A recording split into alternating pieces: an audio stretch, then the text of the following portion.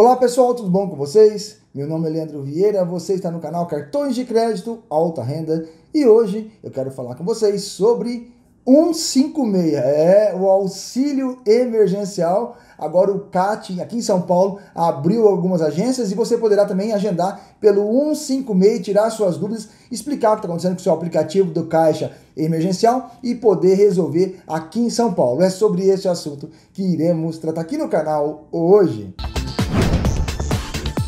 Eu dei aquela paradinha no vídeo para pedir para vocês aquele like não esqueça de se inscrever aqui no canal para que a nossa comunidade de cartões de crédito cresça ainda mais. Ajude o nosso canal, acione o nosso sininho e receba diariamente os vídeos do canal.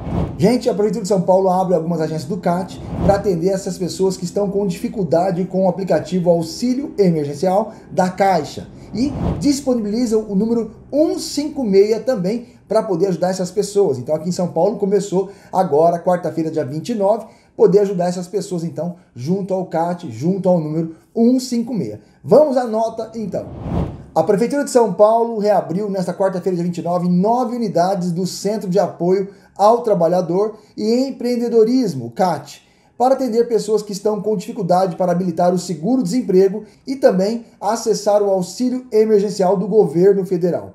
Para evitar aglomerações, o atendimento nas unidades devem ser agendadas pelo número 156. Segundo a Secretaria de Desenvolvimento Econômico é, e Trabalho, quem for ao CAT sem agendamento prévio não será atendido. Então, lembre-se, vocês precisam ligar no 156, fazer o agendamento, que aí eles irão resolver o seu problema do aplicativo, tanto para o seguro-desemprego quanto também para o auxílio emergencial do governo federal, tá ok? Beneficiários têm reclamado da demora de atendimento e falta de resolução pelo canal 156. O 156 começou ontem a agendar vindas ao CAT.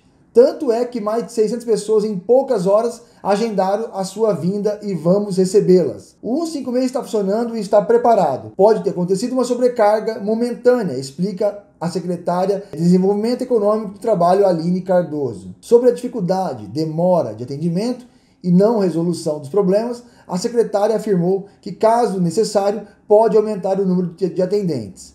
É uma experiência nova, em poucas horas nós estamos sentindo a demanda, mas nós temos a capacidade de aumentar o número de atendentes no 156.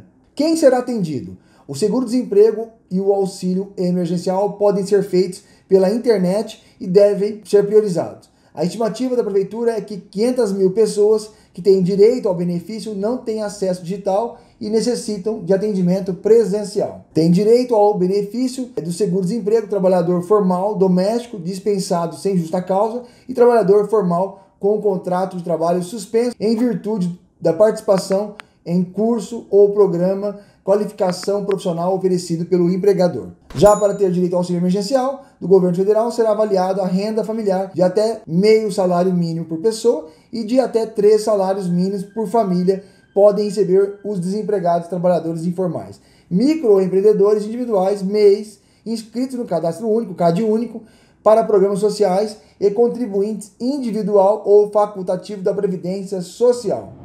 Os agendamentos pelo 156, ok? Ligue antes. 156, agenda, fala qual é o serviço que você quer, auxílio ou seguro-desemprego, e no dia apareça lá com os documentos para você poder então sacar e poder ajudar você a liberar o aplicativo e resolver o problema que vocês estão tendo, tá certo? Pessoal, eu espero que vocês tenham gostado desse vídeo no nosso quadro As Rapidinhas do Alta Renda. Até o próximo vídeo. Fique com Deus.